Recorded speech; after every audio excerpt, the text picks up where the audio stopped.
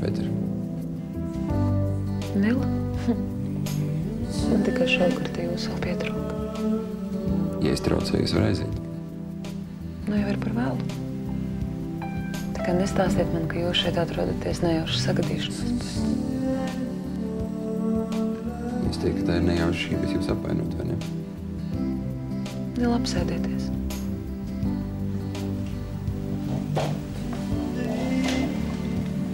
Iedzersiet viskiju kopā ar mani.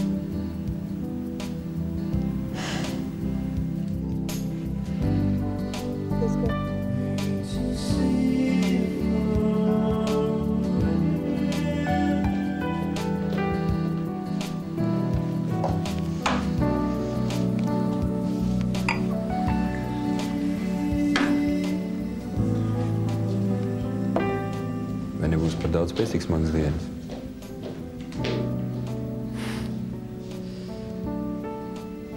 Neyse Gorjena.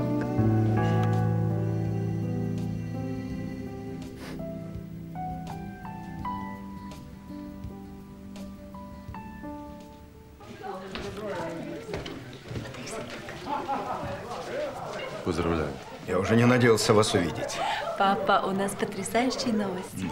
Петра наконец-то согласилась с нашим предложением. Я так рада. Очень так хорошо. рада, да. А, кушайте, кушайте, родной, миленький, это дешевое. А почему нет музыки? Дайте-ка нам вальс.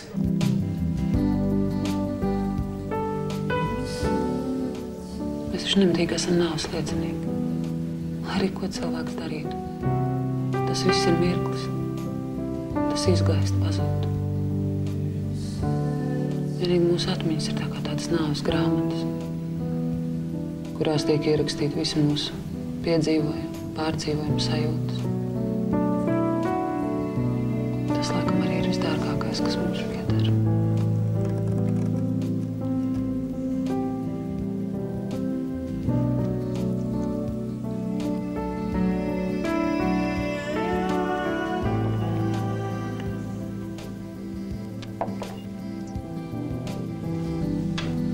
Bet varbūt nelēma ir tā, ka mēs nespējam ļauties mirkļu impulsam.